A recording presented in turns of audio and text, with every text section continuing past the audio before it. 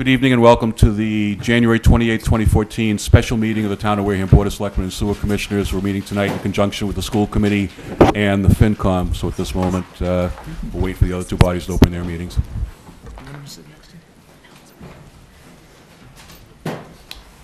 I'd like to open up the meeting of the, uh, the joint meeting between the Board of Selectmen, the school committee, and the FinCom. I'll take a motion to open the meeting. Do I have a second? Second. All those in favor? Aye. We are open. We won't be opening the meeting as we are one member short of opening, so therefore, we're just observing. Okay? Uh, Just so everybody knows what's going on, uh, the, the two bodies, plus some members of the FinCom are gathered here to uh, discuss the latest set of numbers regarding the 2014 budget. We've already had the department hearings uh, before the FinCom. Uh, We have those before us. We have also a document, Town of Wareham 10-year snapshot, or as I call it, the way we were, comparing fiscal 2005 to fiscal 2014 projected to show where the differences are. Uh, We also have something from Administrator Sullivan uh, that talks about the local aid assessments and does a comparison between last year and this year, and also the local aid uh, estimates themselves. Uh, So with that in mind, I'd like to turn it over uh, to Mr. Sullivan just to speak first to these numbers and give us a general overview of what we're looking at. Thank you very much. The first document that we will pull is the Town of Wareham 10-year snapshot. Uh, In going through this, you'll see the first column is the FY14 projected, second column is the FY 2005. That is what was voted at town meeting, including the October adjustments. Uh, You'll see over the, the 10 years, the growth in the real estate taxes, uh, two and a half authorized. Growth has shrunk during, uh, even when uh, 2005 started, that was probably towards the tail end of when uh, real estate started to go down. So I believe the few years before that, we were probably looking at growth rates somewhere, growth uh, dollars somewhere in the eight to nine hundred thousand dollar range.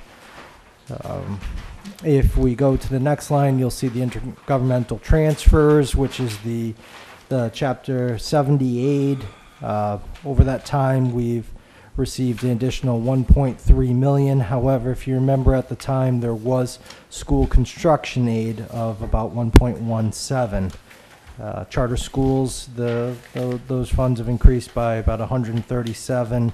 So if you netted that out, we're looking at about $438,000 in increased aid.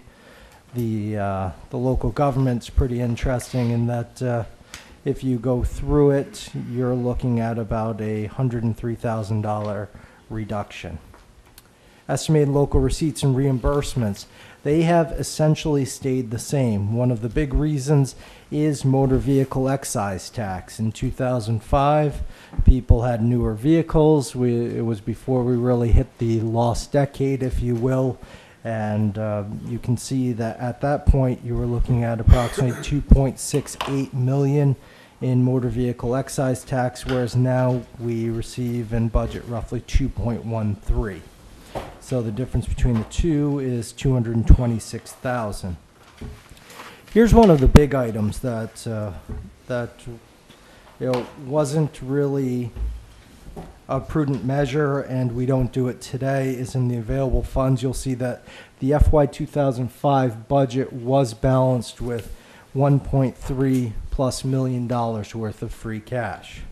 The other large item, uh, the difference is the water pollution control. You'll see that they had an admin fee in there as well of about 922,000 at the time, which was uh, approximately a $400,000 difference than what we have from the health insurance and uh, the fringe benefits.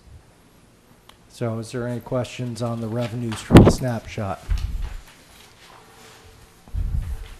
What's, just briefly, the CAGR, Compound annual growth. And, yep. all right, So when you look at that, you'll see uh, what sort of what sort of the growth is. If uh, every year property taxes, when you include the authorized to two and a half percent plus the new growth, uh, you're approximately three point six percent. The cherry sheet aid, 0.2 percent increasing every year. And our local, local uh, receipts and reimbursements, negative 0.4% is the, uh, is the growth.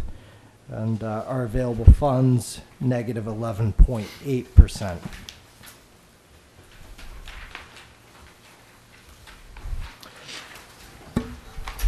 So this is, um, obviously I won't go down line by line throughout the whole, general government side, but you can see what, uh, what some of the growths are and what some of the reductions. The audit has, has increased um, substantially.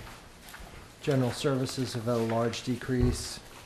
Um, The difference, and I want everybody to remember the differences between budgeted and uh, what was actually expended could be a, could be a large difference. Our IT costs have gone up, and you'll see that's mainly on the technology expenses side.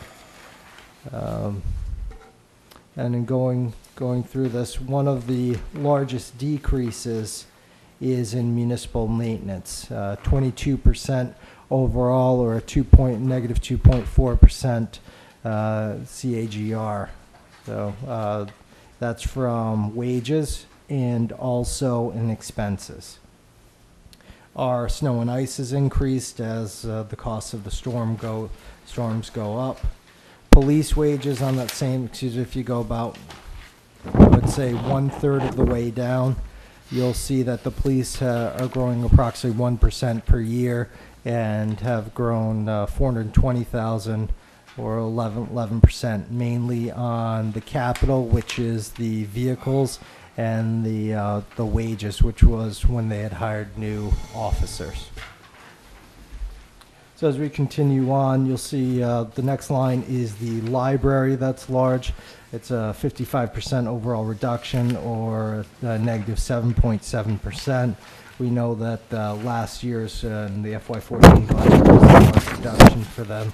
So overall, on the general government side, if you look at it, the, uh, the expenses of capital have increased by 1% or have grown by 0.1% annually, and the uh, wages have decreased by 218,000 or negative 3% or a growth rate of negative 0.3%.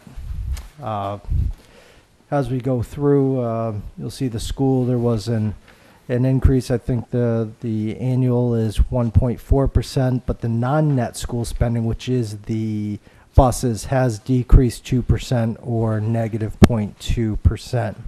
The uh, decrease has been in just the non-net school spending line, so a total of uh, 15 percent or 1.4. The fixed cost, the debt has uh, significantly gone down by 66% or negative 10.3% annually. Um, and so obviously you'd see the same things in the debt of the interest of the short and long term. Uh, general liability insurance has actually, believe it or not, decreased, and that that was an interesting one to to look at. But that's um I don't know why that would be unless we've made, we made some changes. I know that we do receive Maya reimbursements, so that was interesting. The reserve fund, if you look in the uh, in FY14 budgets and such, the reserve fund is actually kept in the general government side, and for FY14 that was 75,000. Um, the rest of these are small. Sick leave bonus. It was kept as an employee benefit in FY 2005. That is uh, in FY 14 shows up in the general side, general government side. Um, here, are, here are the employee benefits and really the large ones. If you look, the retirement contribution since 2005 has increased one million four hundred thousand dollars or 98 percent, compounding annual growth of a rate of seven percent. Uh, The workers' comp has increased, uh, compensation insurance has increased 180,000 or 70% or growing approximately 5.4%.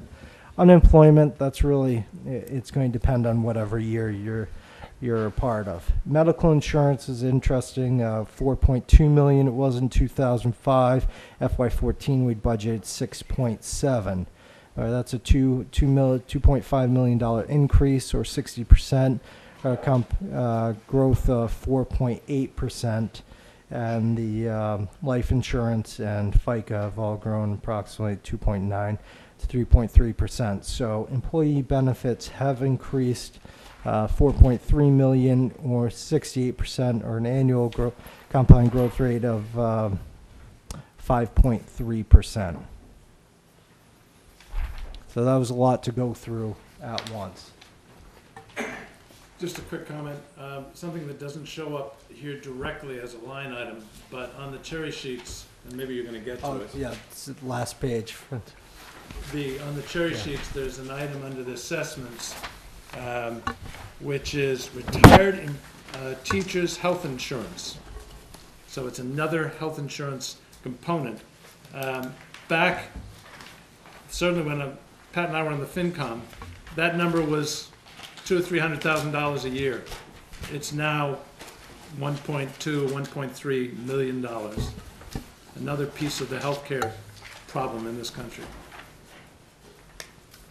Yeah, if you go to the final page on the think got back. a question over here. Have you- have you done this with just straight head count by department? To- This same comparison, so we know how many people are in each? Yeah, you'd actually have to extrapolate that data. Uh, I don't have the, I haven't been able to do that, nor do I have the time. I know that we have. uh, Personnel records? Do Selectman we- Whiteside has been working on. Actually, our record is the annual town report, which doesn't just list employees and their, um, what they've made for salary, including overtime. Then it is up to you to match that person's name to their department. So you need somebody with some memory of the town. So we're, it's a worthwhile exercise. And uh, Selectman Whiteside, I've actually asked to work on that, who I'm not saying she's had tons of history, but she knows some, some parts of the town, so. To your point, Tom, I think going forward, it would be good if we could get the annual Just reports compiled in that fashion. So-and-so, how much department worked for. Yep. It's just one more line for the department head to identify to the clerk in preparing the town report. Was it, was the town about three percent smaller, two percent smaller? Same head count for the town? It was about a thousand people difference in terms of um, census. Two percent? The town or the, ta- are you speaking in uh, You're talking about residents? the the census, right? Yeah. According to the census. Yeah. About five percent. It's like four and a half. Uh, It, you can't just do that, excuse me, um, the town clerk, what she does is she prints the summary payroll rec- account. So in order for her, I've already talked with Judy, um, Lauzon, in order for somebody to be identified, I would have to understand, um, a whole lot more about the school system's way of accounting for people than I do. I, it, it, it's a, it, doesn't just, it's not going to be able, it's not going to be something that Mary Ann or the clerk or whoever prepares the annual report is going to be able to do very easily. Yeah, it, it's an excellent exercise and something we need to go forward because how, how do you compare year to year when you have, if you look back a decade, I'm sure people thought they would know everything about their own departments and uh, I think we only have about uh, two or two department heads left from that from that era.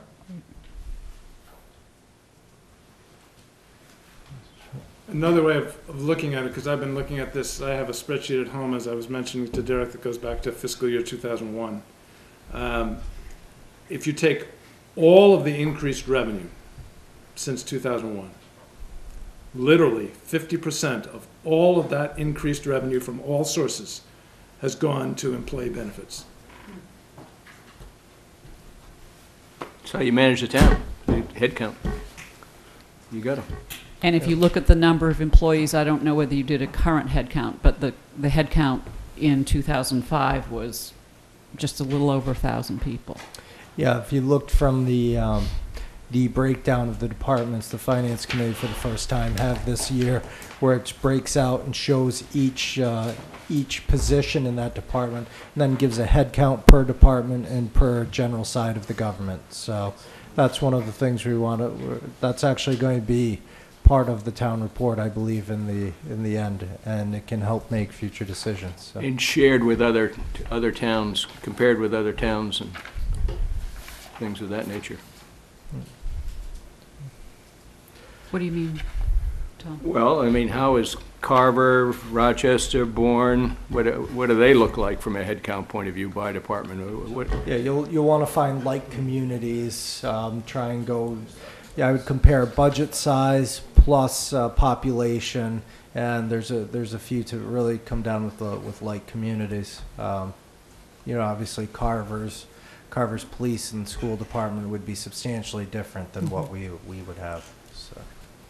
Uh, But if we go to page six, and this is what uh, Mr. Sweat was alluding to, the county and state assessments in FY 2014, 2.4 million. It had been uh, 1,026,000 in 2005, and you're looking at almost a 1.4 million dollar increase. Uh, Veterans assessments have gone up uh, 259%, or or growing annually about 13.6%. So these, uh, you know, if we, we saw there was a little increase in, in state aid and it completely went away. So the, um, the other interesting item is if you look under articles, the Upper Cape Cod Tech in FY 2005 had been a little over 1.7 million and we just, uh, don't look at me. That wasn't very nice. in FY, uh, in uh, FY fourteen, we're looking at just under three million dollars, so it's increased seventy-five percent, or, um, the, the annual growth of five point nine.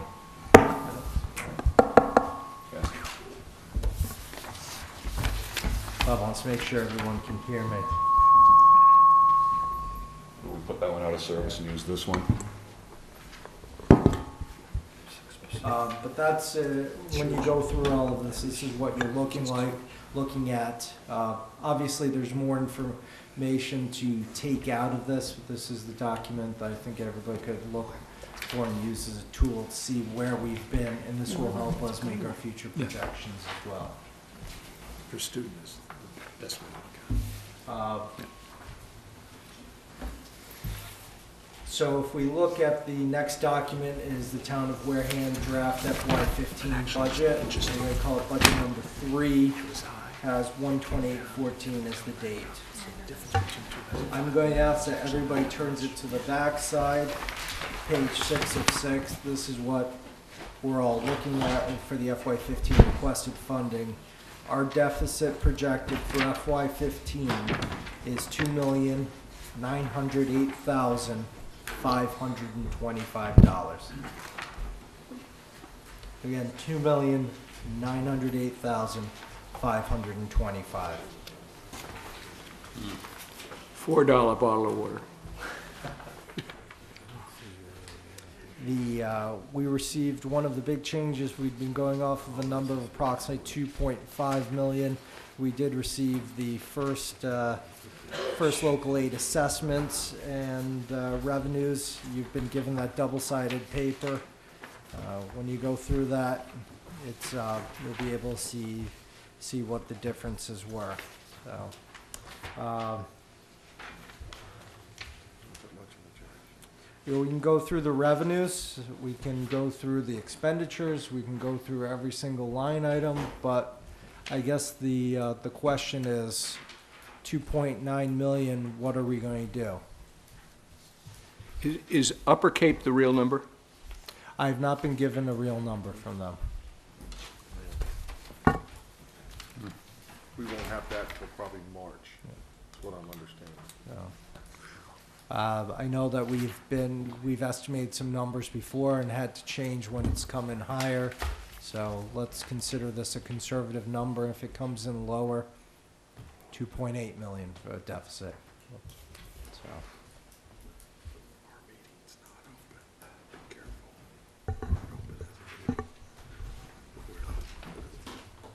and I'll open it up to anybody that wants to go over anything, ask any question, has any ideas, or where we want to go from here. And that wasn't proper English, so I shouldn't say that with the school. Okay.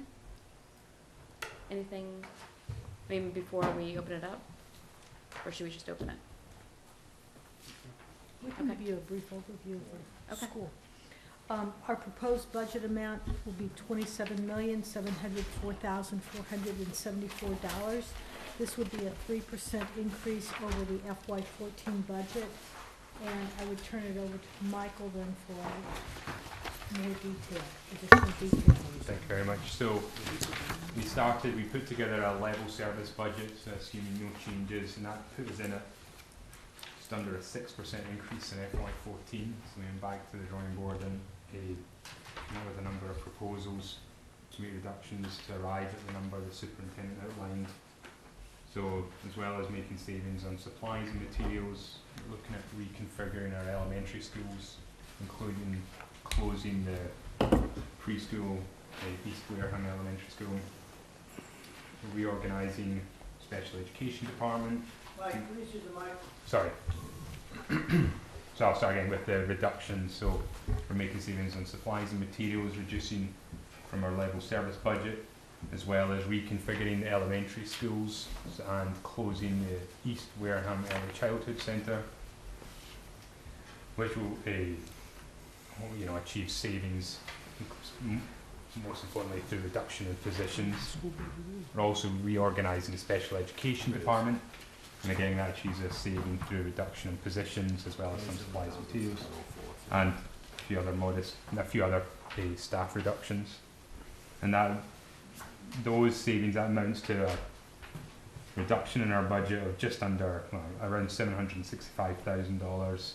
It cuts sixteen positions, and that's what gets us down to the gets us down to the, the increase that the superintendent outlined. Thank you. I mean, I think that what, uh, what Derek said before about pretty much opening it up, and I think that you said it kind of perfectly, we're looking at 2.9, so what are we going to do about it? And, um, you know, I was hoping that we would come here today because um, we all have, I think, dissected different parts of this budget. I think that we have formed either public or private opinions regarding the, the budget and the 2.9. And again, that's not derogatory whatsoever, just I know that I have an opinion about the 2.9, which was 2.4 or 2.5 yesterday. Um, so what I was hoping to accomplish today, this could just be about communicating to the community what the problem is, um, but we also, I think, are responsible for, with those formed opinions or with ideas, you know, we all read the newspapers, we all read the blogs, we all, you know, talk to constituents, young and old. And so there are ideas that people have um, that, that I think are important to get on the table and to basically scribe them, to, to write them down, to have um, one or two or three ideas that we ask our town leaders, the town administrator and the superintendent, to be able to go and really dive into those. And we're talking about, we know that cuts need to happen, and we, the superintendent and the town administrator probably have ideas where the line items are, and it's gonna be devastating, but they know that they're gonna have to cut. So I'm not talking about so much cutting and going line by line, but I'm talking about truly restructuring or something big that'll help restructure the budget, or an idea that can help well, talking about new revenue coming to the town. You know, the, the bad words that we're all talk about, and there are some people that agree with it and some that don't. But true, just real ideas that we can put down on paper and then go back to the, and say to the superintendent and TA, explore these more and come back and make recommendations on, on whether you think that it can work or not. We all can say what we think um, should be done, but it's ultimately the responsibility of the TA and the superintendent to run their parts of this town. So if we do have ideas, it's important to get them out there so then maybe they can then say, all right, these are the three things, now let's work together, dive down into the details, and come back and say, this is viable or it's not for this year. There's an- another option that you didn't throw out there. And just so you know, I'll be the scribe for any ideas that come up. If I can ask one other person to be a volunteer, describe also, so I make sure that my notes are correct. It would be increasing the funding of the town. Don't want to use the word override because I'll get shot. Um, or I'll have flat tires when I go outside. Um, in the preliminary work that I did for Mr. Sullivan um, from 2005 to the requested budget, there was a huge reduction in the number of people who work for this town in the general government side. Um, I at one, um, there were 70 police officers. How many are there today? That's huge. 70 to 34. And that includes the chief, it included um, it- um, janitors and, uh, you know, included everybody who reported on the 56, police side. I'm sorry, it, it was 70, it is now, 34 is just the officers. If you look at- It's if you look 56, at isn't it, or 58, something Yeah, like I'd that? have to pull it up real quick. You have to call, it's, it's, you got, I mean, if you wanna count, uh, management people, then Yeah, yes. Well, it's what was in the 72. So what was in the 72 and then what was in the, So I think if we were In the at 70 56, I don't have my. yeah, it don't have my included all with me, so- janitors, it I think it's included the IT people, it included, um, well, municipal maintenance is down to thirteen. Right, and, and that number think was it's nine. huge. It- Well, and they had separate divisions, you know, there was a cemetery division, Yeah, there was a, you know, separate divisions that were, that were fully staffed, and we're now down to um, beyond bare bones.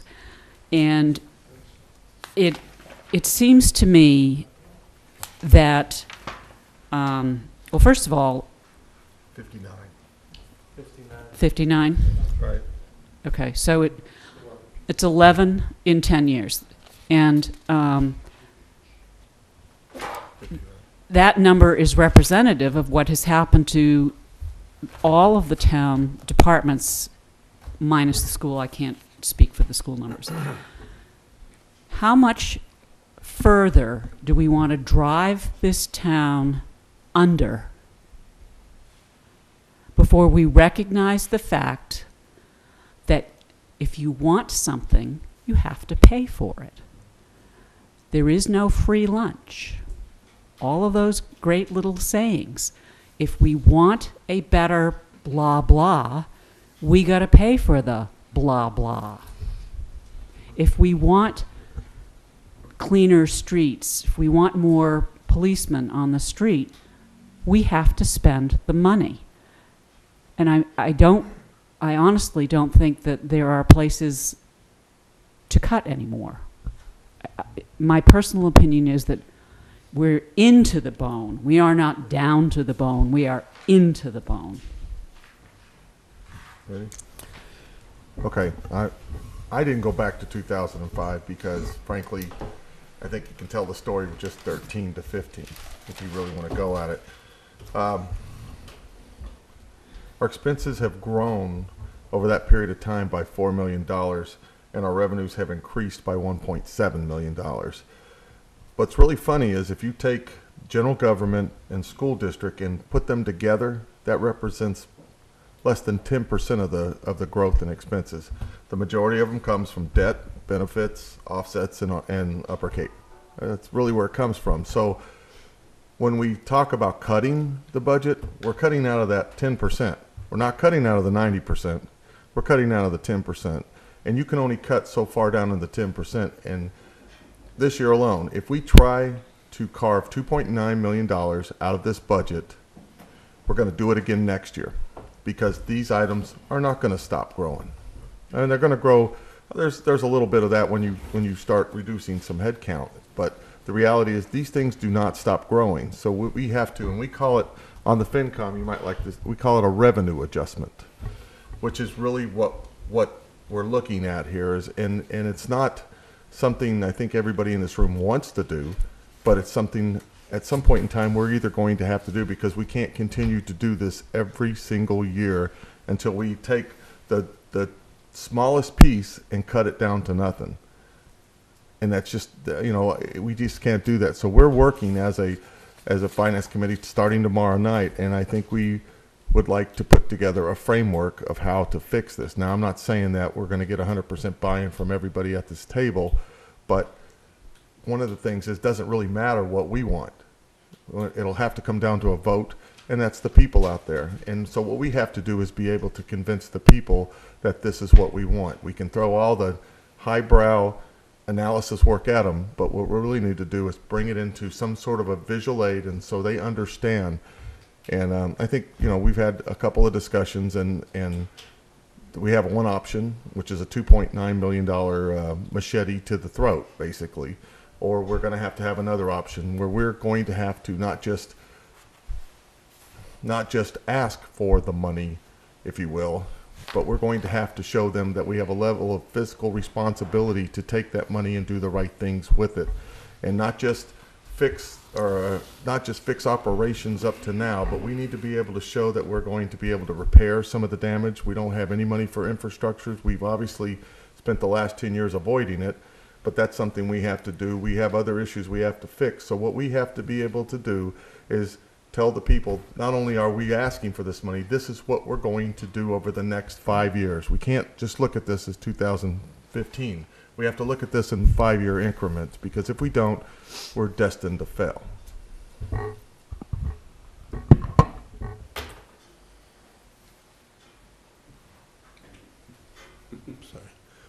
We've inherited a system which was broken before we inherited it. Uh, we inherited a system of funds coming in that was broken before we were in place. Um, we're so far behind, we're at a point where it's not a simple fix. I believe I heard on the radio today when I was coming in, uh, I think it was Falmouth, who we look at as a fairly wealthy community, shouldn't be having problems. Uh, they were announcing today that they were having a meeting tonight. They're cutting 44 teachers and are going to try and see if they can get a debt exclusion or an override passed because they're going to have to cut basically to the bone on their budgets everywhere. Bourne has issues, which Bourne has always been well off. Um, we really don't have much choice because you have to have a balanced budget per se.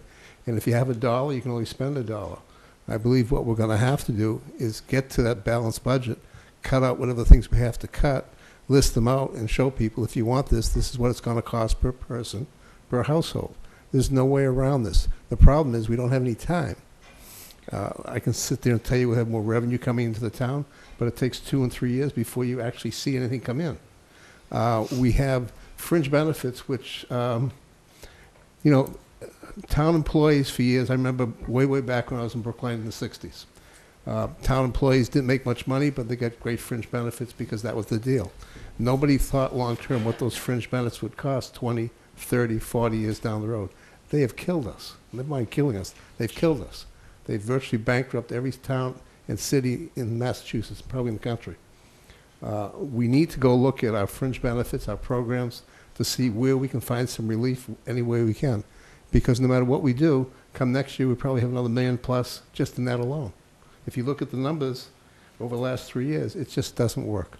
I'm not doom and gloom, but I'm just saying is at this point here, as far as the town side goes, we're going to have to basically close departments down and say, people, if you want this, it's going to cost you a dollar fifty, you know, on your tax rate. The school department is going to probably have to do the same thing. Every department in town is going to have to do it. Um, there's no sense in sitting there trying to figure this or that. It's the bottom line. You got a dollar. We split it between all the different departments. At the end of the day, each department has to run it as best they can for that. And that's what they have to come up with. And then it's up to the town if they want anything more than that. Because we can't supply it to them. We don't have the money. And I don't know how to get out of the, the liabilities and the retirement programs and the benefits that we've locked ourselves into. The unions have us.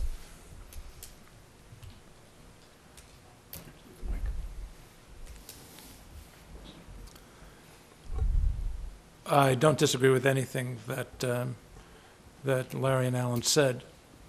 If nothing else comes out of tonight's meeting, I think we, as three bodies, should challenge the town administrator, the superintendent, and maybe the FinCom, if they'd like to accept that role, but certainly the town administrator and the, and the superintendent, to develop, um, actually, it's the town administrator with the assistance of the superintendent, to develop um, two budgets for town meeting.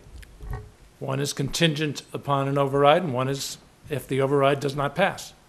That is not a unique thing to do. It is a part of the law that we can do precisely that. Um, A few years ago, um, I asked, so the, the data is maybe two, three years old. I asked John Foster to, to um, calculate what a million dollar override would cost the median household. And it was about a little over sixty dollars a household. So if we wanted to solve the $3 million problem, um, we're talking about a little less than $200 for the median household. I think it's important to get those kind of facts because people have a way of, of making really big numbers. Now, I'm not suggesting that $200 is a really small number for some people, but it is what it is. And the advantage, of course, of a $3 million override is that it's perpetually there. And you don't end up with, as our finance chair was saying, you know, a crisis a year from now, because that's bad for two reasons. One is you don't want to have annual crises. And second, the town says, I thought we solved the problem, um, and we didn't, so we've lost credibility. Um, and the third thing I would say is that if you do the simple calculation of difference between the current projections for FY15 and what the projections are for FY14, we're talking about a 6.1% increase in um, healthcare premiums. 6.1%. I don't know about you, but I'm tired of hearing the fact that the cost of healthcare is actually going down. That is the biggest BS line I've heard in a long time, and it's dangerous for people to be saying that, perhaps for political reasons on the national front. It isn't happening. The, the, the, the curve may be slightly bending in the right direction, but it's continuing to go this way, and 6.1% is killing us. And the average over the last decade or so says that it's likely to kill us. And the fourth thing I'll say, which is um, perhaps radical, but that's never stopped me.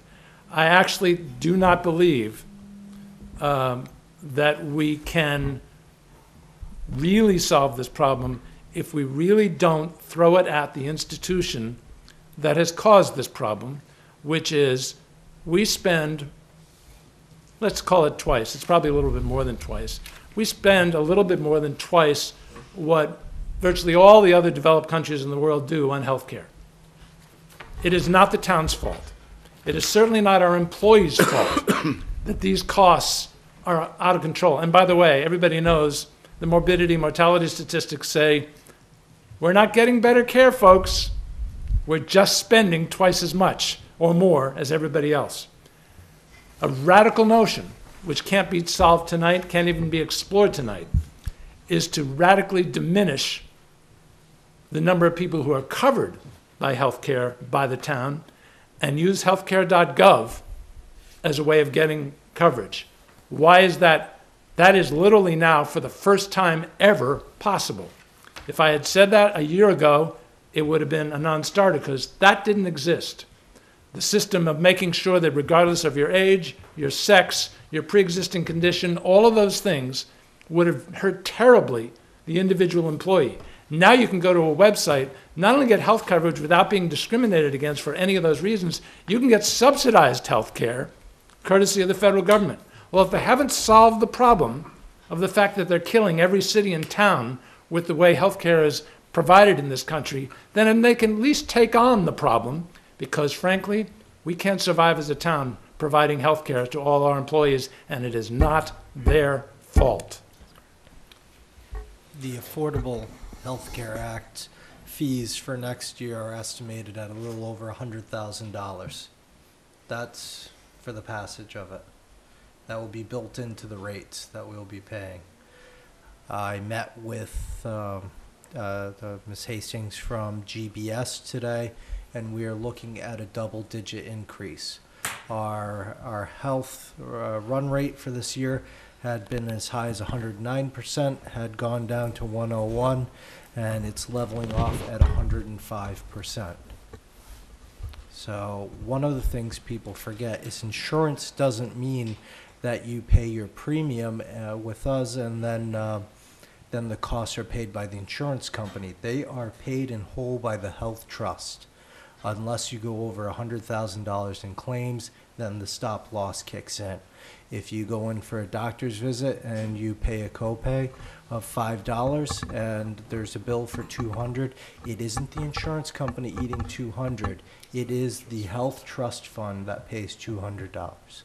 So that's just, um, we spoke today to, um, uh, I guess the term would be better educate ourselves and our employees and have the, uh, the members from Blue Cross and Harvard Pilgrim come down and hold some seminars on that so that people understand that uh, when you, when you go to the, um, the ER and it, it's a thousand dollar visit, that again, it is not the insurance company's money, it is the health trust fund's money. Thank you. Well, getting back to the 10-year snapshot, if you take the 1.4 million uh, increase from 2005 to to to 2014 in the retirement contribution, which is essentially a doubling of that number, and you take the 2.5 million increase in the medical insurance, it's, it's easy to see that essentially what we've done is transferred $3.9 million at minimum, just for those two items, out of operations, services for the townspeople, and put them, you know, into this, th- th- these two buckets, if you will. So this is why you have a 13-man municipal maintenance department. This is why in the administration, where there used to be five full-time people, full-time people, you've got three full-time people and a part-timer. This is why, uh, when people complain about potholes, they don't get fixed quite as immediately as they might have in the past. So this is, this is where the money's going, so this document is very useful in that regard. Uh, One of the things that we had discussed, I think, last year, I don't know that it ever really took on any life because we didn't have the initial money to invest. But I think that there was some discussion about savings that could be achieved if we handled the, the uh, health trust fund in a different fashion. If we went with different providers, it would not necessarily affect the benefits that the employees would receive, or certainly not their care, but it would be beneficial uh, to the town in terms of cost containment. And as I understand it, uh, and I'm hoping somebody can refresh my memory here, the big stumbling block was that we didn't have the cash to get in the door. 1.6 million, wasn't it? Yeah, approximately one point six million, that's including, you, you need approximately a, a one million dollar IBNR to be held for two years, so. Yeah. Uh, you would need approximately a one million dollar incurred but not reported, so you'd hold those, they would hold those funds, uh, set aside, and that would be for two years. Uh, Going to the, it was the Mayflower Group, which is the old Plymouth County, which we were a part of. Uh, Going to that doesn't necessarily save you money right off the bat. What it does do is prevents, um, prevents if there was a surplus in the health trust fund, as we have now, but an even larger one, it prevents us from using those to, to basically enhance our budget for one year.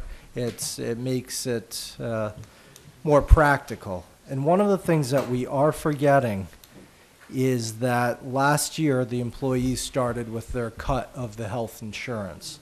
Um, and I mean a cut to, to the town's cost and an increase to theirs. Uh, for FY fourteen, it starts off going for the split from seventy-five, twenty-five to seventy, thirty. And then in FY fifteen, it will go to sixty-seven and a half, thirty-two and a half. It is a six-year program.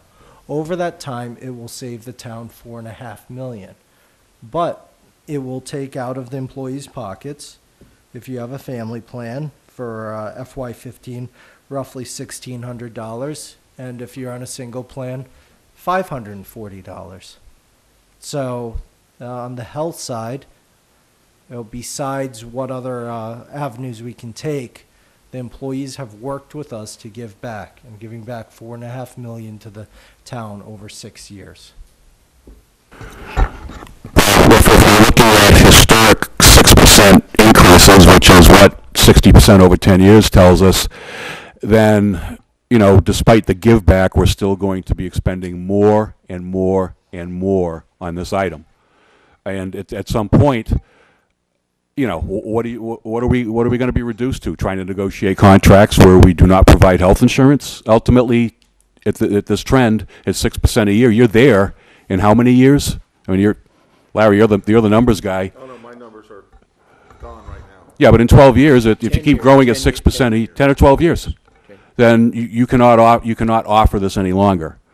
So this, this is really, I think, the, the big elephant in the room that we've got to figure out, you know, how to fix, how to keep it from screwing up the rest of the budget, because it absolutely does, and, and try to get some idea of how to contain it, while at the same time, you know, not, you know, jamming it all on the employees. In other words, trying to look for a better, more efficient system. So, you know, I don't have an answer to that. I can ask the question, but.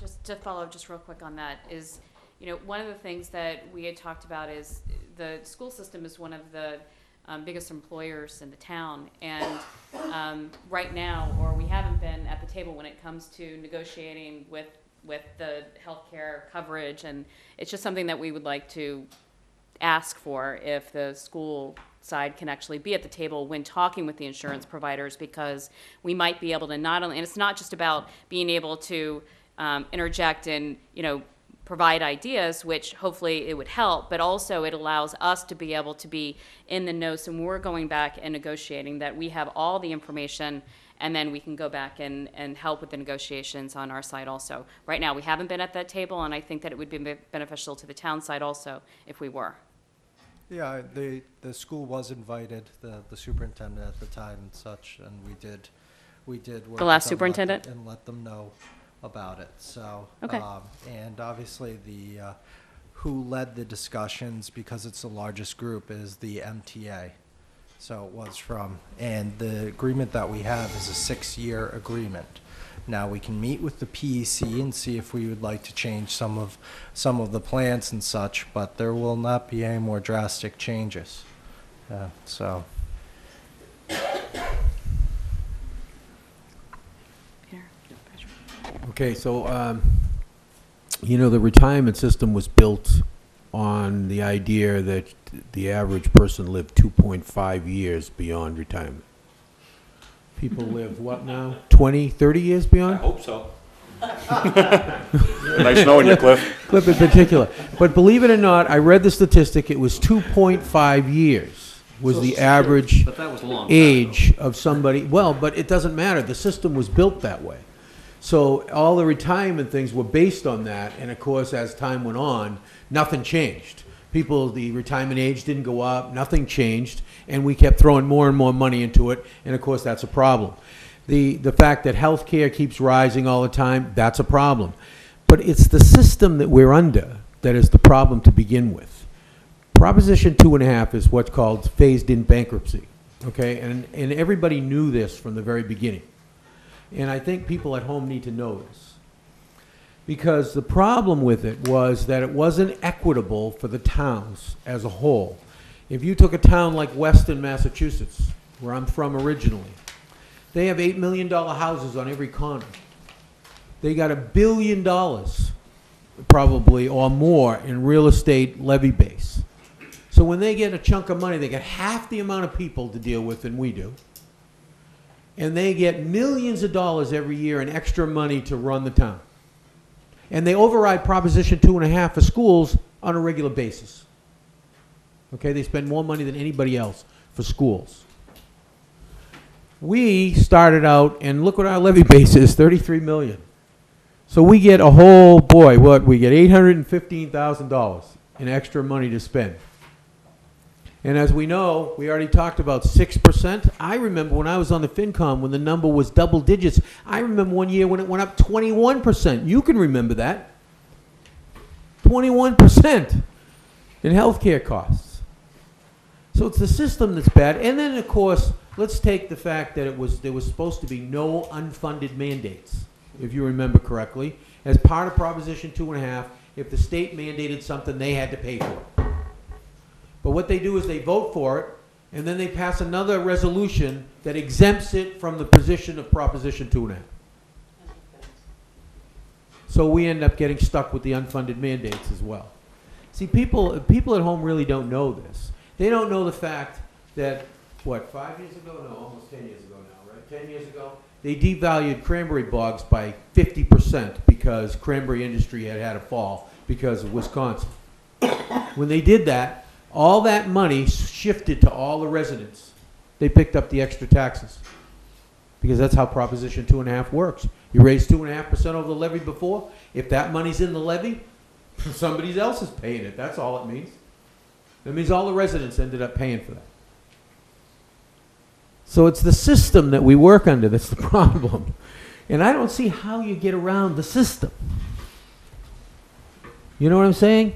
So if it's the system, then we have to use the system to fix it. If the system says that the way around the system is that you have to go out there and prove to people that you need a, an override, then you have, then that's what we have to do. It's as simple as that. If that's what the system is, and that's how it's designed, and that's what we live in, then that's what we have to do. And we, all of us, have to make that case. And I mean all of us.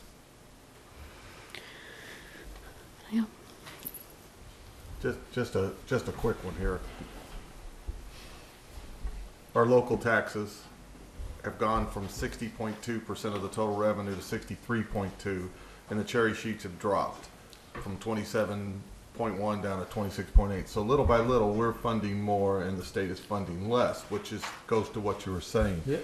So, you know, that's, um, our, but our revenue in total is only increasing three point one percent versus the expenses, which are going up, well, we know seven, seven percent or something along that line. Um, it's not override, it's revenue adjustment, just, just for the record. But, Yeah, yeah. but you're right, it, it's not a question of, the system's broke, but It there- is. we can't fix it. It started in nineteen eighty, if I've read enough on it to know that it's not a system for a town like ours to, to get ahead. But you see a town like Bourne, who's used the override to get to where they needed to go as well. The problem isn't, isn't so much explaining it, it's explaining it in a way that the people will understand and trust us. Because it's okay to vote at town meeting, and then it comes to the selectmen, and then the selectmen have to vote on whether to put it on the ballot. And Once you get it on the ballot, then the people can vote, but it's not, phew, thank God it's over, because now we have to show a level of fiscal responsibility, or we're not going to get out of this, this gem. You can look for three million dollars in override money, and that's great. But if you don't use it properly, if we don't use it to repair our infrastructure, and no doubt there's probably still some cuts that need to be made to a certain degree in order to get to where we need to be in ten years. We need to start now, but it's not just, it's to repair it and then prepare for the future. We need to start building, you know, reserves. We need to get to the point that we're born where we got, I don't know, was it eight point something million dollars sitting back just in case something goes wrong? I mean, I'd like to have that, but we don't have that. We have no reserves. We're not funding our capital. Our infrastructure's down. So when people talk about operating, this isn't an operational override. This is something we need to do to fix the town going forward. Well, Bourne also took two and a half million dollars out of their enterprise fund Yeah, I, I and transferred it to government, so that Right. helped them a huge. All right, I'm done. I told you I wasn't gonna talk tonight and I lied. Did you want to go first? Cliff Alexander first, then you, Okay. Steve. No, go ahead. Okay. Um, I think that, um, you know, I sit, it's my fourth, uh, time through this process. And I, I seem to say the same thing every year, and yet uh, I'm not sure why, whether I'm just all wet or it doesn't soak in. Um, the town of Wareham, um, is not um, in that much of a fiscal hole that we can't support our town. And here's why. When you look at total revenue of Wareham, I'm talking about Wareham now, not government, not school, but the town of Wareham, we actually have quite a bit of money between our water districts, fire districts, government, school, and um, what's the one I'm missing? I'm missing one. Uh, Enterprise fund, thank you. When you take all of that money, and we're charging people for that already, uh, and people say, hey, I pay enough. And then you see the um, annual reports from all these different little enterprises that we have out there, right? Um, you're never going to get a, and I'm not trying to be negative, I'm just trying to be real here.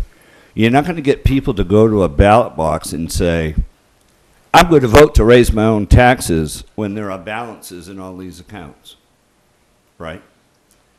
So, I- think I mentioned the Rich Bowen, I see him over there with his little computer.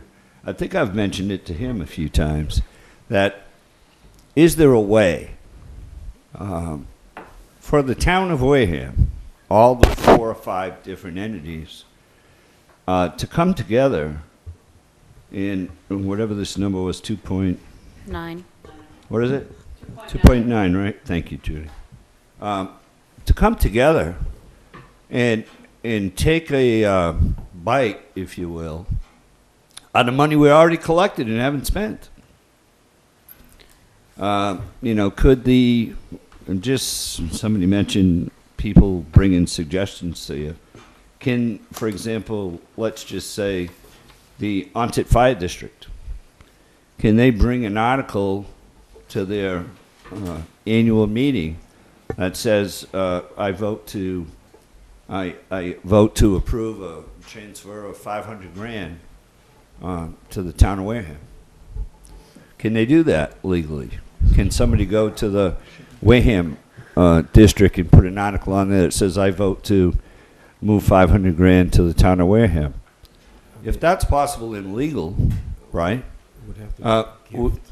It would we have to be could- a gift and be accepted and, you know. Right, I- wh- however that works, right? My point is, It wouldn't be. if we could do that legally somehow, a gift, I'm sure they can write a gift, uh, depending on their rules, but is there a way to look at those funds that have balances that we've already collected from the taxpayers to try to solve some of this problem? I'm not saying it solves it all, but is there, is there a way to do that?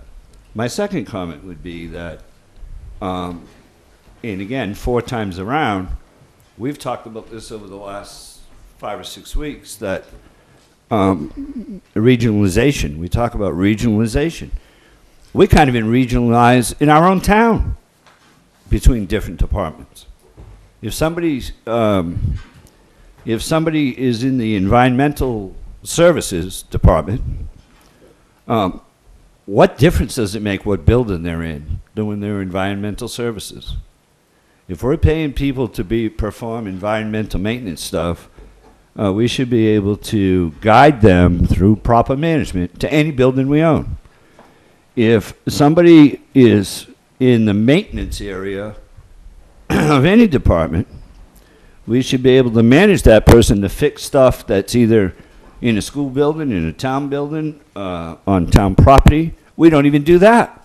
It's all separated. So when you go to the townspeople, these are the things you hear. Um, hey, you guys can't even combine your own services, but you want me to pay more so you can keep your own separate governments going. This is what you hear. Um, so I think that that's another area that in order to prove to the taxpayer that we're using their dollars wisely, and we may be, but in terms of this regionalization stuff, I think that you got to make some effort here as, as the school committee and the board of selectmen, town administrator, school superintendent. Um, if we don't make that effort, we lose a bunch of people. If we don't try to get money from another bucket, we lose that bunch of people. So when you go to the polls to vote for this, you lose. It's not just, I'm not going to give them any more money. I don't feel that they're uh, using my current money wisely. My third point is over the healthcare issue. Um, uh, and I keenly pay attention to this because that is my business. And the companies, big companies in this country, um, a lot bigger than the town of Wareham, are starting to do a lot of things that um, maybe please the president, but uh, really tick off the employees. Is uh, one, they're starting not to cover their employees at all and throwing them into this deep hole, which really, um, if you like your employees, it's not fair to do that because the cost is higher and you may lose your doctor, and, you, and there's all kinds of other things that go along with that. You pay more in a premium, you pay more in deductibles. Um, it's not a very nice thing to do, but companies are doing that. The other thing is, is that companies are really beginning to turn, turn the tide on who they cover. So, um, if you're a single person, you get a single plan. If you're a married person with a family, you get a single plan. No more family coverage. And they're starting to knock off spouses, kids, and all that other sort of stuff. So, um, you know, is that drastic? I don't know. But you have to look at the way companies are managing their businesses to stay afloat. And that's one way that they're doing it is they're just covering the employee. And the family now can go to gov.org um, and try to survive for themselves. Uh, I don't think it's such a great deal for people. I'm fortunate and blessed to have health insurance through my company. Um, if that was to change, that would be a problem. So, you know, just off the top of my head, you know, you talk about what people are saying to you. The other question that uh, came up, somebody had called me this past week, was over the Old Rochester Regional School. And um, is, I don't know, it's just a question, I don't know the answer, that's why I'm going to throw it out. Is there a way, uh, Madam Superintendent, to limit the number of students that you allow to go to that school? No.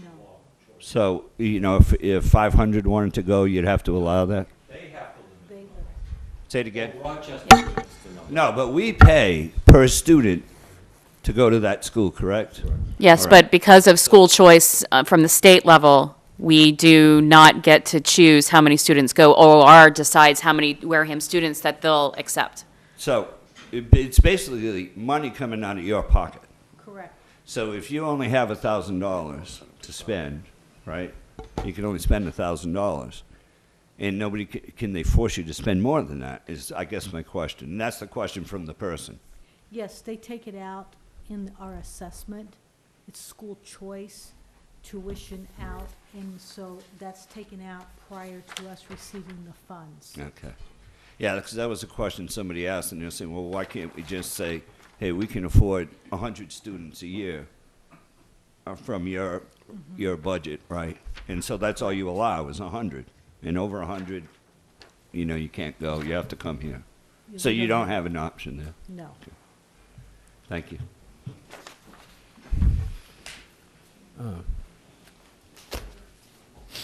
All right, um, I don't know, it's- and I, I appreciate what Steve was saying there, but, um, as far as the districts are concerned, um, I don't know that they have any big pots of money. I know that the, the Wareham Fi- Fire Water District has money they collect through the use of fees on their water system that they use to put aside to build another well and do things like that and do whatever. I also know that the districts are not restricted by Proposition two and a half. They have no restriction. They need money, they can get money.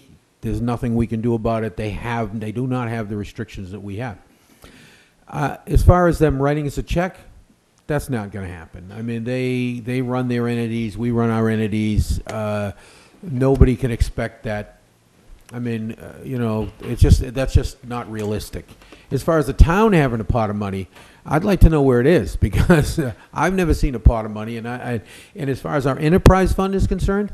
Uh, that's governed by law, what we can take and what we can do as far as the enterprise fund. If there's a pot of money there, it's supposed to go back to the rate users. The only monies that we can save are monies that we're saving either for an upgrade or something of that nature or, or some, you know, but as far as saving a pot of money, you have to give it back to the users. And once upon a time, we used to take money from the enterprise fund that helped fund the budget, nine hundred eighty thousand dollars, in fact. And boy, all of a sudden, it became a big to-do, and we gave back the nine hundred eighty thousand dollars. I don't know, you weren't here, Derek, at the time, but this was back in, well, we used to do it as a regular course. We used it through admin fees. We used to take some money and help sort of with the budget. And you can see it. It's in the, it's in the, it's in the, it's in the two thousand five thing. If you look at it, you'll see it right there. Uh, I think it was nine, it was nine hundred eighty thousand dollars at its peak. I just remember that number. Uh, my, my fellow colleagues that sat on the board back there remember how that was done. And then uh, some people uh, got got upset about it, and ultimately, that was reduced, and that nine hundred eighty thousand came out, which, by the way, is part of our problem as well, because we took that nine hundred eighty away from us, which was reoccurring money. And we also took away the growth factor, where we were getting that new growth because the economy was flying so high, so we took that out of the economy, out of our budget too, which of course has caused us more headaches, as everybody knows. But there's really no pots of money, and I, I don't want people at home to think that there's pots of money sticking around someplace that we can just all of a sudden take money out whenever we need it, because they just don't exist. There is none of those pots of money. And even the districts have to earmark money. They can't just hold money and say, well, we're going to keep this money and grow this pot of money. They can't do that.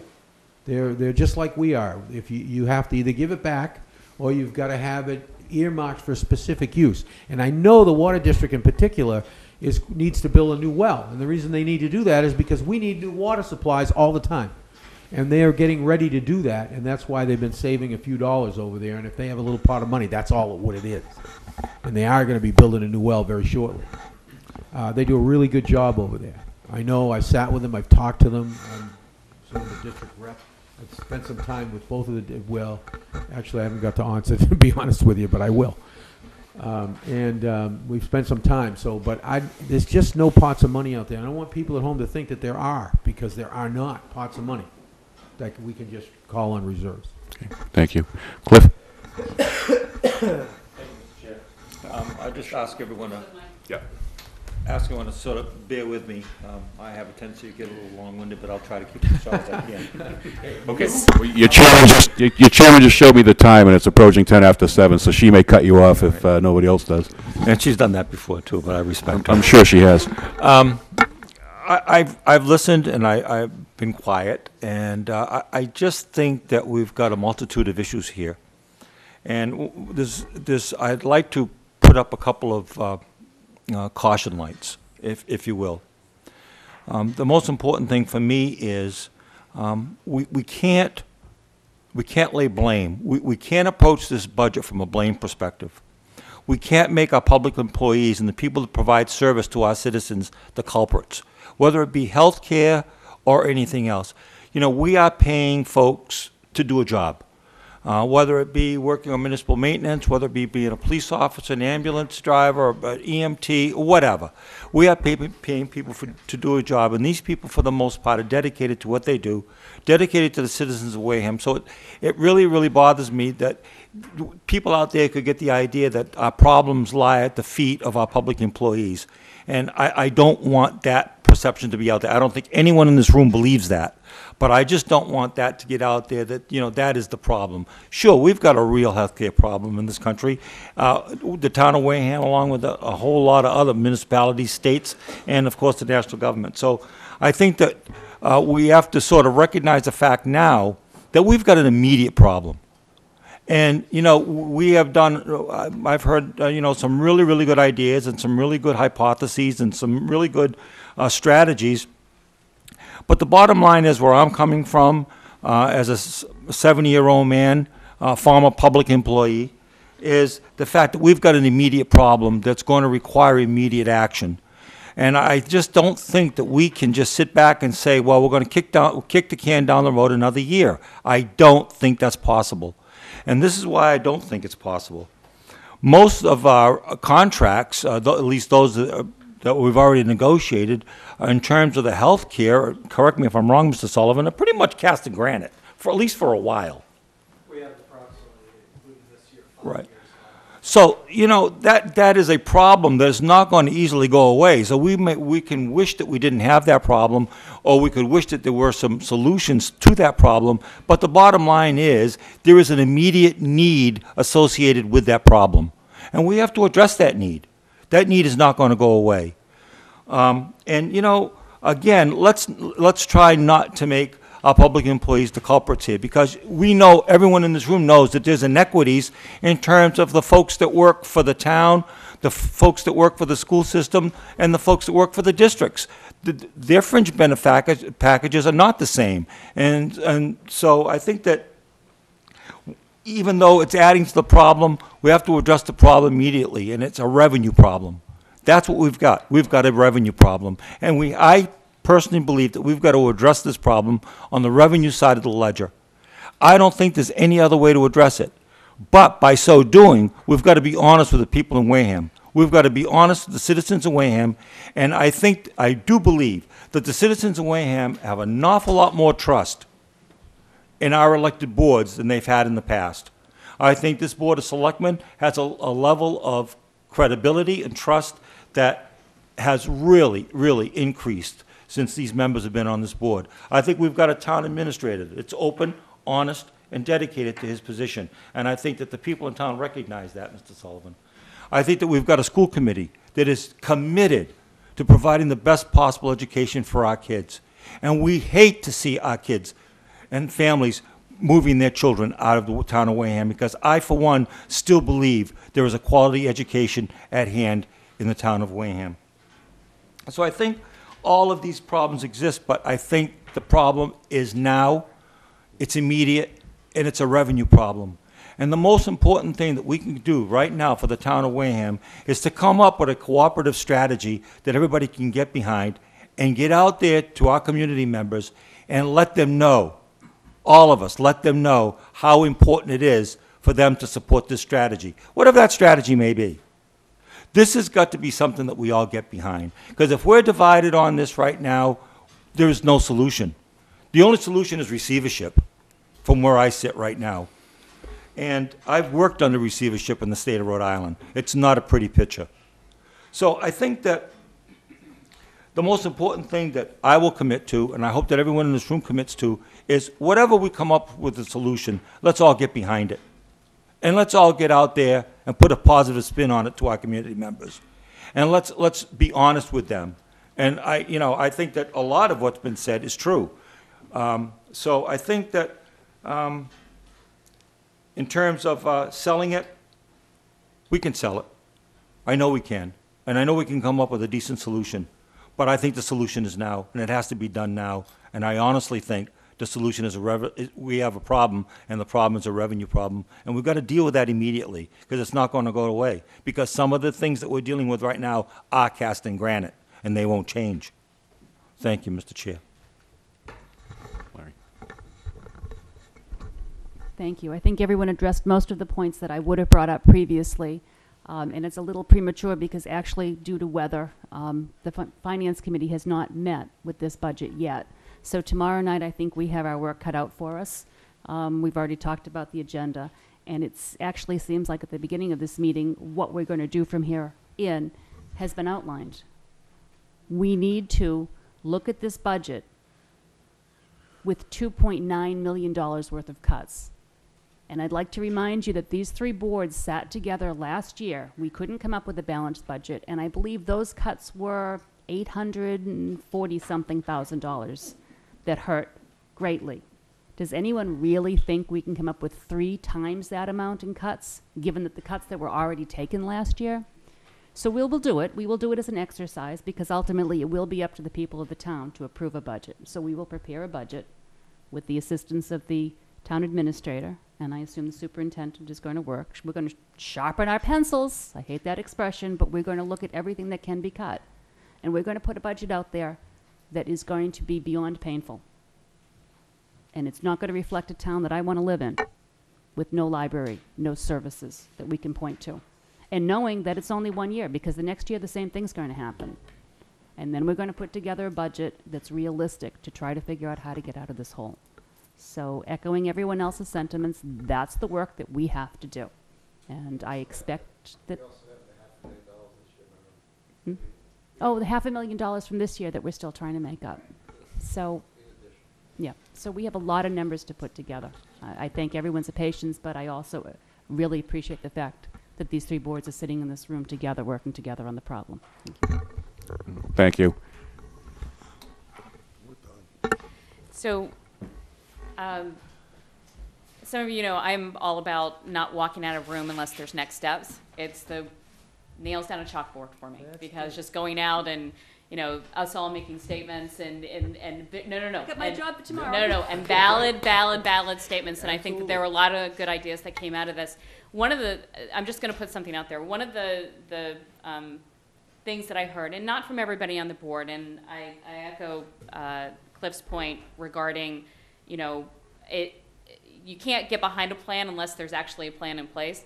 But the one thing that has come up several different times is about bringing new revenue, and it's a revenue adjustment, not an override. But, but that if as, if as these three committees, the only way to get behind the idea of selling a revenue adjustment, I know that it would be hard for me to do it unless I saw the plan on how we might go about selling that. And I always start from the end result is that we need a ballot question. We need um, what's going to go in front of town meeting voters.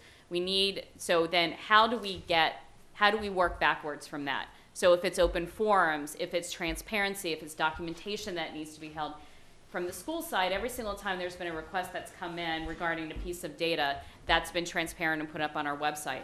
And I think that that's starting to build some trust for the people that actually want to go and download it and actually dive into it. They're starting to see that what is really being said is, is there. So if we basically come up with this plan, and I'm looking for volunteers around this table, I will absolutely lead, not lead, but basically, you know, help put this document together. But to come up with a plan between now and April with the tasks that need to happen from open forums to sharing of documentation to ballot question to um, everything, basically a step-by-step process of what is needed to hopefully get the information in town, um, town voters' hands.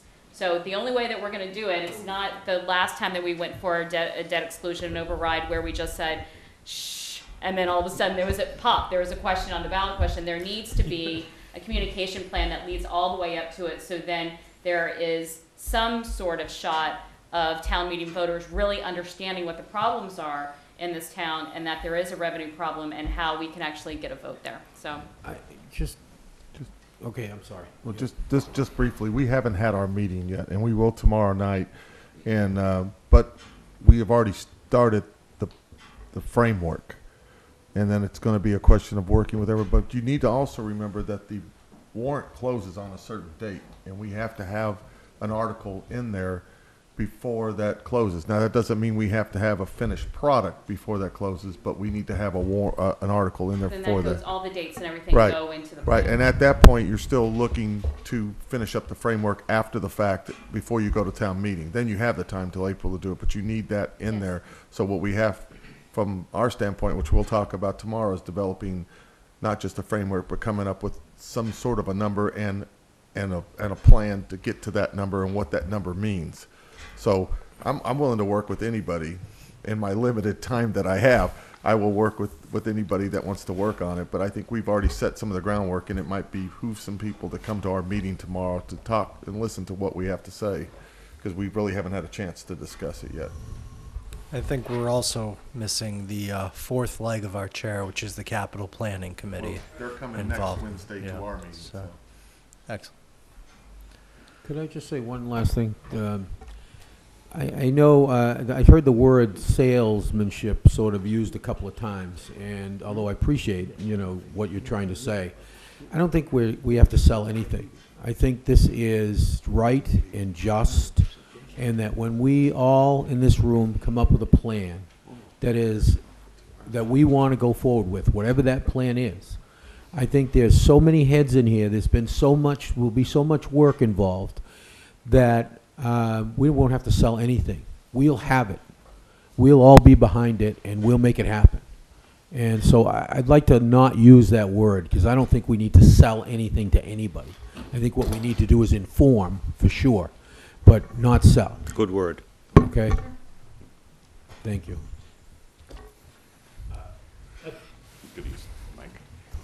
Pick you up over there.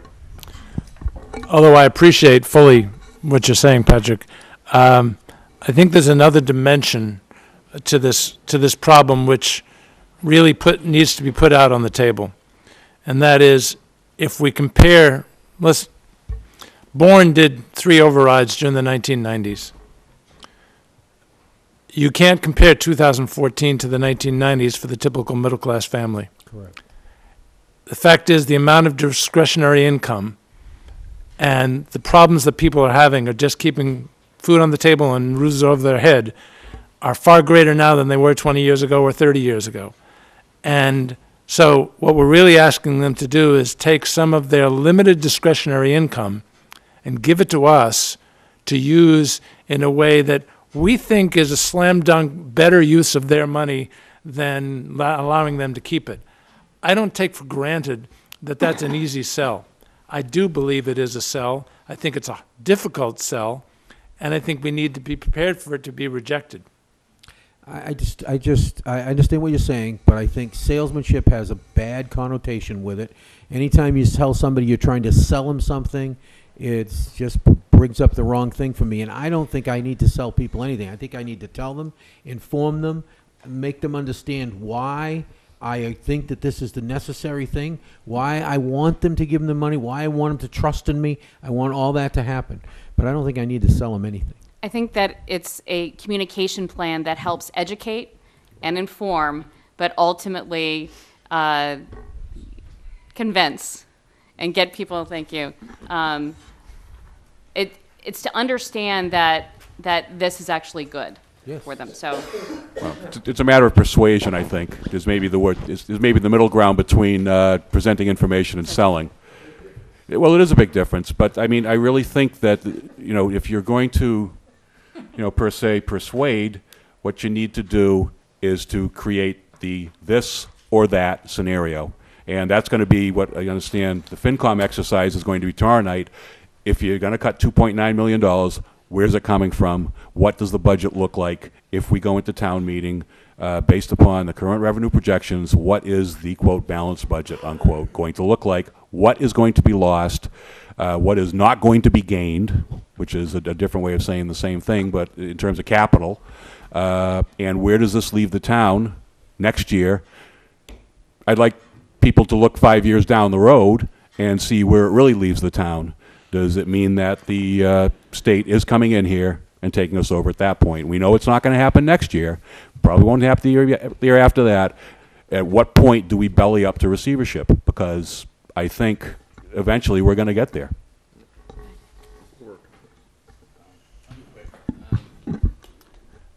No, I, I agree with that approach, and uh, Mrs. Swett said. You guys really speak up. I, I agree with that approach, and uh, what Mr. Swett said earlier about having a contingent uh, budget, have two budgets at town meetings, so it, so it is real. Um, but I, I also uh, want to touch on what Madam Chair had said too about the transparency and having everything online, and, and I'd like to see everything that was handed out here today on the town website somewhere, if that's okay. Mr. Flaherty, it's a no-brainer. It happens anyways, once it's presented to the, to the Board of Selectmen. The, uh, these budget documents as well as the others.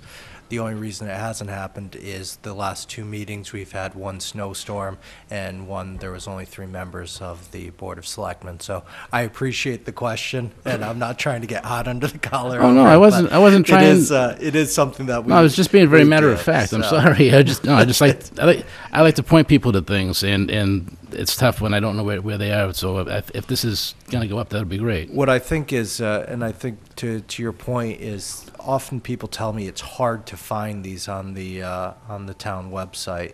So whether you look under administration or it's under accounting, but um, in the upper right-hand corner are usually the new documents. So I think Matt is available, can put a, um, a yellow warning sign almost on there, which maybe that's very appropriate for this budget, so. okay. By the way, when I was growing up, I always thought the superintendent controlled the weather, so you may be. Pete, before you close, can you go back, Jeff, if you wouldn't mind, um, go back to the beginning where you were talking about what three million dollars equated to per taxpayer. Not per house, but, per- you know, not No, per family, it's but per not per- taxpayer. It's not, per- the money, the, the, it was per median household. Because that's the way we, we, ta- we tax based on property, we don't ta- tax based on the number of people who live in the property. So, Right, but you also don't tax the people that necessarily live in the property, you're taxing the homeowners. that's correct. Right. One, one bill regardless of the number of people that are there. Oh, got for- it. Right, and that works out, a couple of years ago, it worked out to a little, um, a little over sixty dollars per million. what was it last year? You remember when we did for the roof and all that? You remember what that was?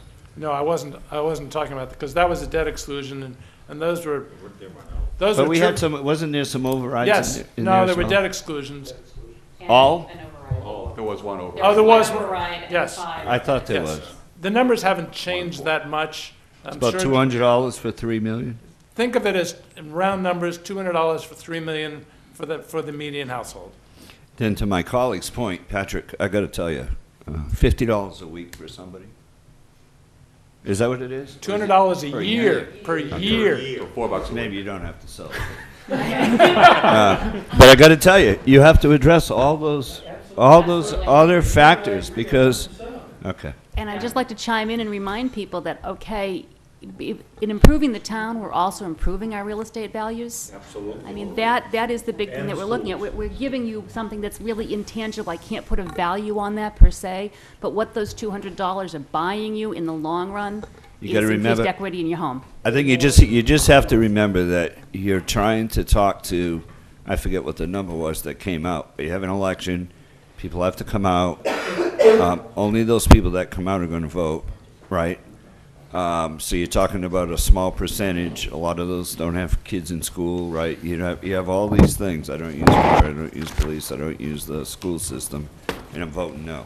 So you have to really, there is a salesmanship to it. I understand what Patrick's saying, but, um, you're gonna have to go a lot better than the last time. We'll to tell them even- what they're getting for their buck, that's To all. even try to Right. get it to. And, and the one thing that I'll say to that is if, the- that at the end of the day, we are all not mind readers. And so if there is a piece of information or a question that you have about the budget of any line item, it is important to be able to get to the right people to get an informed answer instead of forming an opinion. There are several pieces of data out there, and you can cut it up multiple ways.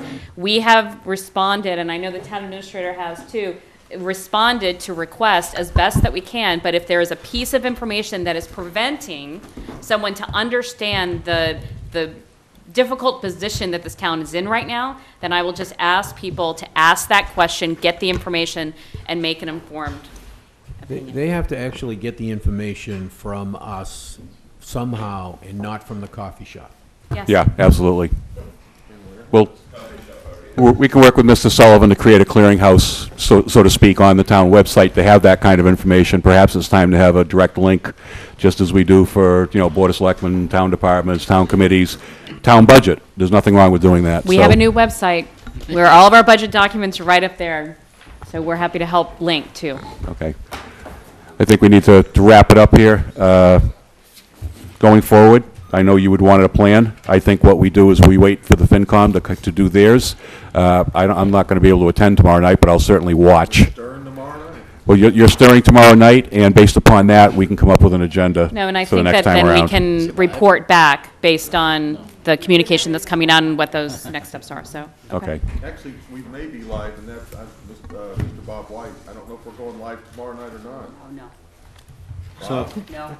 so are you saying, Mr. Chairman of the FinCom, that tomorrow night you're gonna begin to put together, without, without any review at all of the new budget, you're putting together an override proposal? Is that what I heard you say?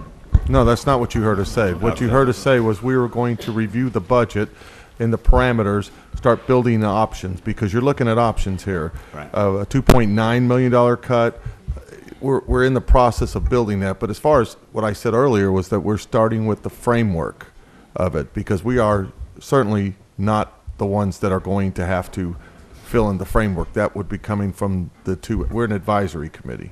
We don't, uh, tell you guys what to do, we Well, advise what you, I and was then. just trying to clarify that, because it sounded like you were putting the framework together with no other discussion, you haven't seen it, you haven't met. Well, that's not, that's not true, we haven't seen it, because it was all forwarded out, well, now it's a new budget now, thanks to the extra Right. thing, but, uh, that It was sounded like you electronically. had already predetermined what the Well, that answer was just your perception of it, that wasn't what we said. That's what I heard. And we framework. suffered through about eight hours of meetings last Thursday. Yeah, and- and so- we I don't think your administrators would like the word suffer.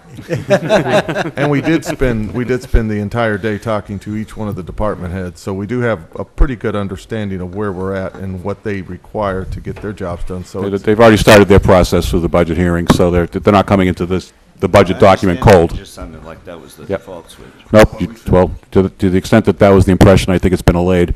Uh, is there anything else? We're out here. That's an easy way to adjourn. I wish we could be let that informal. thank everyone for being here tonight. Have a second? All those in favor? Aye. I'm gonna, I'm gonna adjourn, uh, we'll, we'll close the special meeting and open the regular meeting. Yeah, you want to make a motion? Second. Second, motion made by Selectman Tropiano, seconded by Selectman Whiteside, all in favor, aye, opposed, abstained, five zero zero, we're good. Thank you and good night.